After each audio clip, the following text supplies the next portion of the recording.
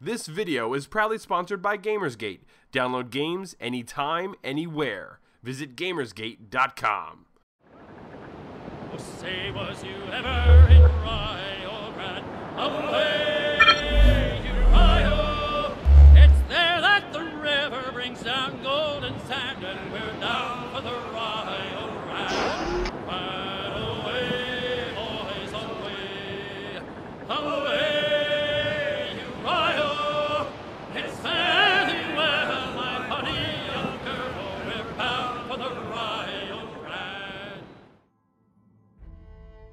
Assassin's Creed 4 Black Flag is quite possibly Ubisoft's most ambitious entry in the series. Though it's still an Assassin's Creed game with all the free running kept largely intact, most gamers are excited for the entirely new pirate backdrop and open world sea mechanics. And rightly so. As much as pirates are a beloved pop culture icon, their representation in the video game world is a little on the lean side.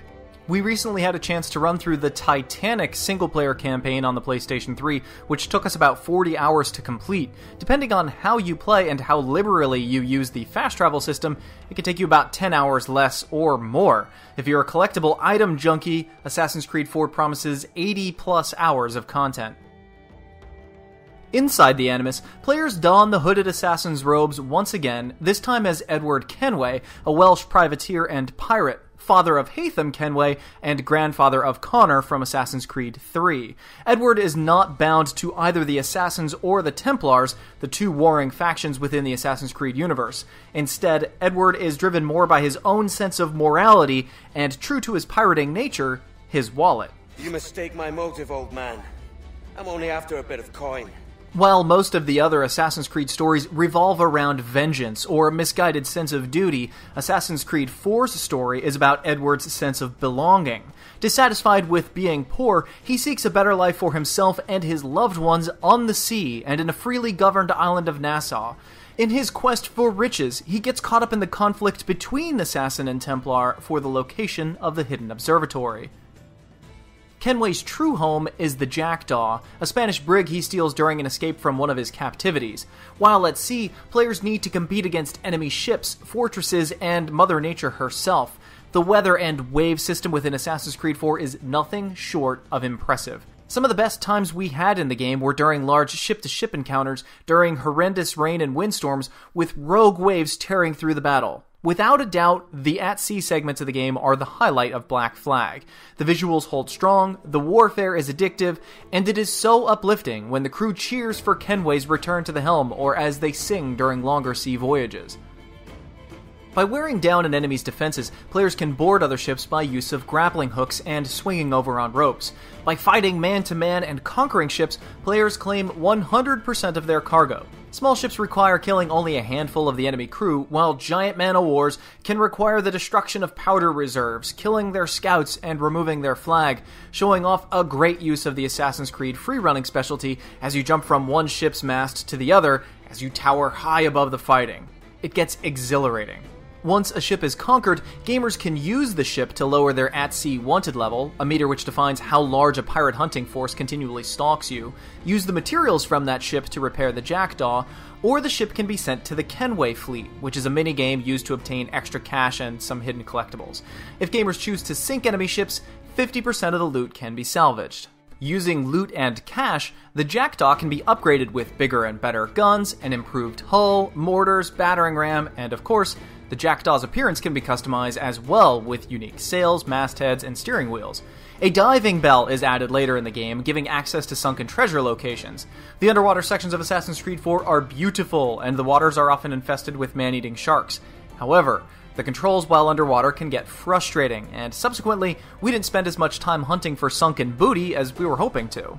Also at sea are the somewhat controversial whale hunting sections of the game, which are a ton of fun. In specific locations, players can spear bull sharks, humpback whales, hammerhead sharks, great white sharks, killer whales, and white whales. We won't show it here for the sake of spoiling it for new players, but for those hunting great white sharks for the very first time, be sure to keep a clean pair of underwear nearby.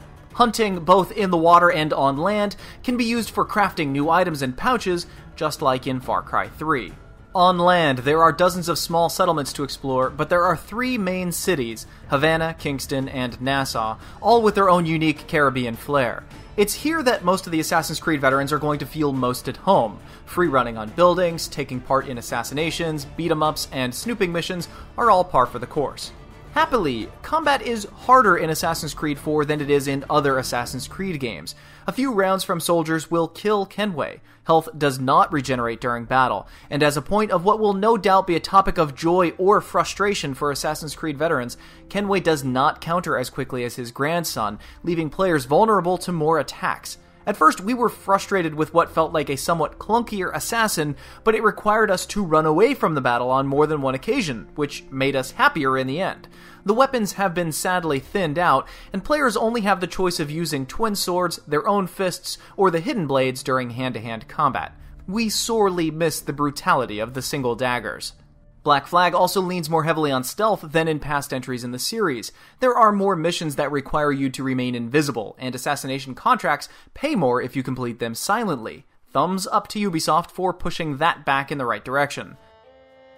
The on foot segments of the game are also where most of the game's problems lie, and they're all of a technical nature. First, and worst, is the frame rate, which drops terribly low in larger cities. It is disturbing how much Black Flag will chug during what should be fluid, high octane moments. There's also a fair amount of character pop in when running quickly through the busy streets. These two issues combined get very distracting very quickly, and sadly, they both rear their ugly heads early in the game, leaving a sour taste throughout the entire journey. We also encountered our share of glitches. Certainly, a game of this size and ambition will have a few issues, but the glitches we ran into truly saddened us. Hopefully, there are some patches in the works to remedy these issues. We lost an assassination contract. He didn't kill us, he simply disappeared. And no matter where we looked for him in any of the cities or at sea with a fully exposed world map, he was nowhere to be found. For 30 hours or so of the game or more, we were left with the message on screen Assassin contract, kill your target. We wanted to kill that guy just so we could kill that message, but he remained ever elusive, so the message remained ever on our screens and in our memories. Also, we became trapped on a number of occasions. We winced as the game had a difficult time properly rendering a boat full of sailors fighting one another. And one of the most annoying glitches we ran into Kenway simply refused to use his final key to open the door to his special armor, despite having finished all the special assassin side missions. Outside the Animus, players control an unnamed character from the first person point of view as they go to their job working for Abstergo Entertainment, a subsidiary to Abstergo Industries. There, players hack other employees' computers and sift through Abstergo's dirty laundry, and they further flesh out the Assassin's Creed frame story. The mandatory time spent outside of the Animus is very short, but fans of the series who enjoy seeing how deep the rabbit hole goes won't be disappointed with what they find. The award winning multiplayer is back again, but with only a few new additions. Though the gameplay is relatively untouched, the playing field is completely changed due to the contestants. In these digital games of hide and seek, players will face off against both newcomers who don't understand the ins and outs of the systems, and longtime veterans, going back to Brotherhood, who have perfected the fine art of smoke bombing, stunning, and wall kills. We absolutely love Assassin's Creed multiplayer, but if Black Flag is anything like its predecessors, it will become harder and harder to find decent matches about 6 to 8 months after its release. Considering Black Flag's fan base will be spread out on even more consoles this time around, that time frame may be even shorter, but here's hoping that fourth time is the charm. In the end, we had a really great time with Black Flag, but at the same time, we were completely irked by the glitches and technical issues we ran into on the PlayStation 3. We'll review the game again on the PlayStation 4 or PC in the upcoming weeks to see if these issues are prevalent there as well. If you're a fan of Pirates or Assassin's Creed games thus far, then we can say it's safe to pick up Black Flag. If you're new to the series and you only have a 7th generation console, though those waters are beautiful, there are some technically glitchy sharks beneath its surface. Gameplay wise, it's one of the best Assassin's Creed games to date, but it definitely shows the age of the PlayStation 3. Fighting the waves, hunting for hidden treasure, swashbuckling on the decks of enemy ships, who doesn't want to be a pirate?